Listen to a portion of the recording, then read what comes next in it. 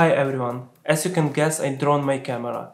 But don't worry, I'm happy to say my camera is still alive and actually I'm shooting on this right now. So droning a camera is such a common and honestly it sucks. It's why I decided to record this video to share my tips how to save your camera and your life as well.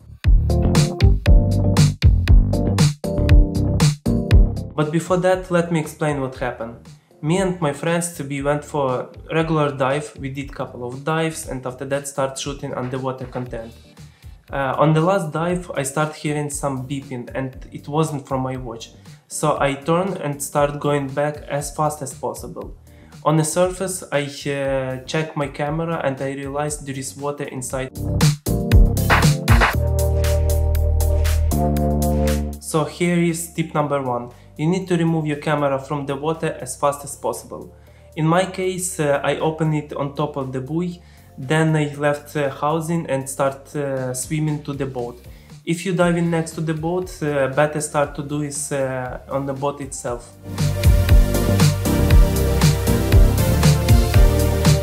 So the next step will be open all slots and remove as much water as possible.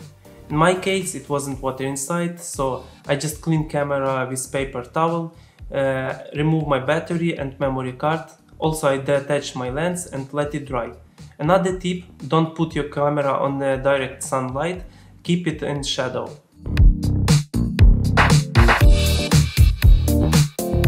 So if you will start Google how to dry your camera or any other electronic device, probably the number one answer it will be rice.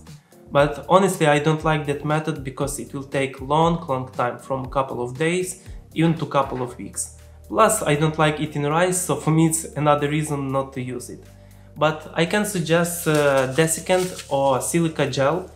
Uh, basically, you can find it uh, anywhere inside of uh, box of the shoes or bags or even sport supplements like a protein powder. I always carry a lot of them in dry Ziploc bag uh, in case of emergency. In my case, I just clean camera and uh, housing, uh, put camera inside and put as many these bags as possible and let it dry. You will see how fast it's going on and you just need to replace for new one. For me it took 2 or 3 days uh, when I realized it's totally dry and uh, everything okay.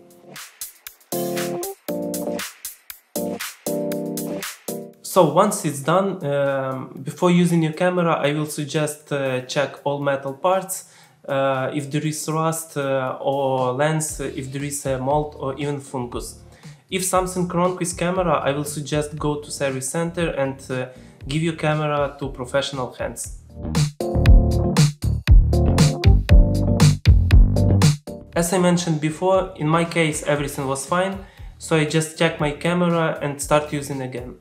As alternative, you can put your camera inside the pillow and use hair dryer. The only one I can suggest, be careful with hot air because it can damage uh, lens or display. Uh, also, I wanna tell you, I'm not a professional technical uh, repair, so everything what you will do, it's on your own shoulders. And if you worry about your camera, better always to check with professional uh, guys who will do this uh, in service center. So let's talk about how to prevent this kind of situation. Maybe it's obvious, but the most important it's always check your gear before each dive. Check all connections, all O-rings, because 99% of all problems coming from there.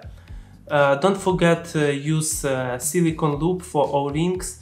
Also, if you have an option, just remove air with a vacuum pump and always check uh, your alarm system for leaking if you have that.